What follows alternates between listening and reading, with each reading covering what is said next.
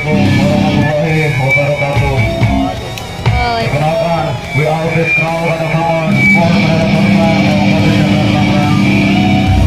Sebelumnya kami berterima kasih kepada panitia-panitia yang sudah mengajak kami berpartisipasi di acara ini. Semoga acara bisa berjalan dengan